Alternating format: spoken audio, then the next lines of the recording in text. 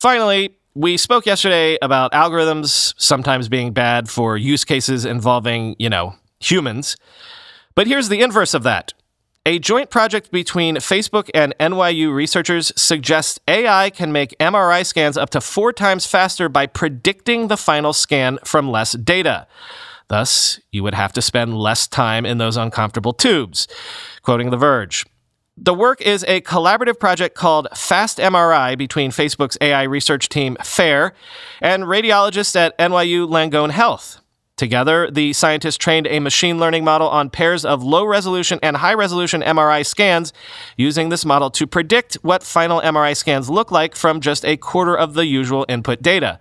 That means scans can be done faster, meaning less hassle for patients and quicker diagnoses.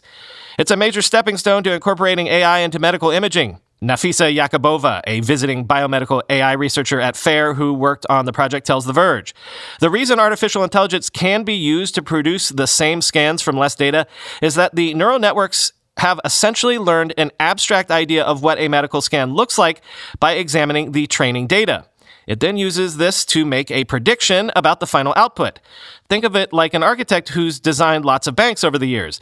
They have an abstract idea of what a bank looks like, and so they can create a final blueprint faster.